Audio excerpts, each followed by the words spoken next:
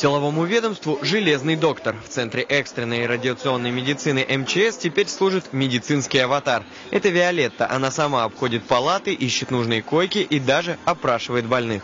Левую руку положите к себе, умничка, умничка, а вверх поднимите. Говорит с пациентами, конечно, не машина, а настоящий врач. В этот раз зав. отделением анестезиологии и реанимации Вера Горбань. Но это показательное выступление. Во время настоящего дежурства главная задача аватара – заменить молодым врачам старшего наставника, когда он в командировке, дома или даже отпуске.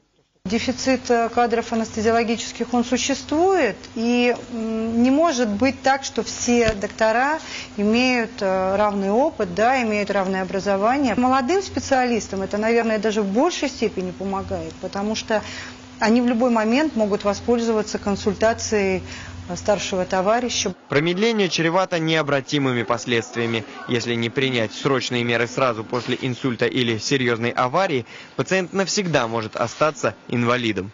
Медицинский аватар, конечно, не заменит врача, но есть вещи, которые робот делает даже лучше, чем человек. Когда надо диагностировать больного, здесь можно подключить и эндоскоп, и УЗИ, и рентген.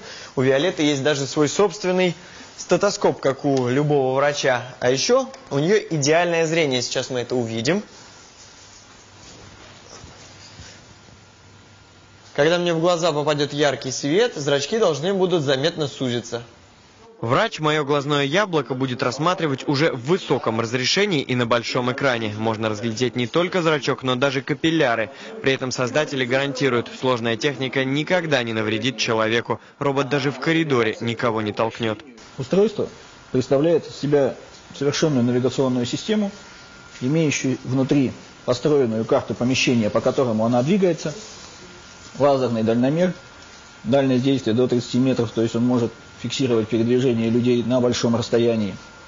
Систему сонаров, вращающуюся на 360 градусов. В операционной другой аватар, благодаря Ванечке, так его зовут, в прямом эфире можно следить за работой хирургов, а если надо, робот организует селекторный консилиум врачей. Раньше нам приходилось созваниваться с коллегой, э, просить его оставить, то есть оторваться от своих дел, приехать к нам в клинику, принять участие в консилиуме и потом точно так же вернуться. Э, в условиях пятимиллионного города в рабочие дни, в часы пик, не всегда это происходило очень быстро.